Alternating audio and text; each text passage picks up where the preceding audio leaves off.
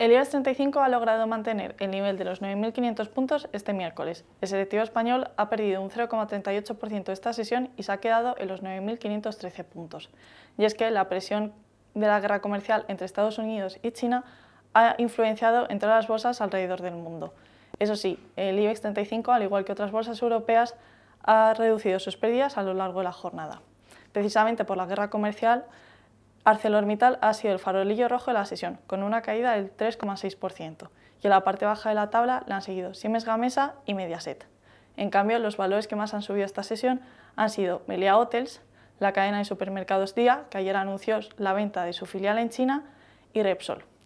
Fuera del IBEX 35, pero en el mercado continuo, cabe mencionar que la Comisión Nacional del Mercado de Valores ha decidido este miércoles suspender de manera cautelar la cotización de la Socimi Hispania. Y fuera de la bolsa española, los principales parques europeos también han acabado en rojo la sesión de este miércoles, excepto la bolsa de Londres. Eso es todo, pero recuerde que puede seguir informado en bolsamanía.com. Muchas gracias.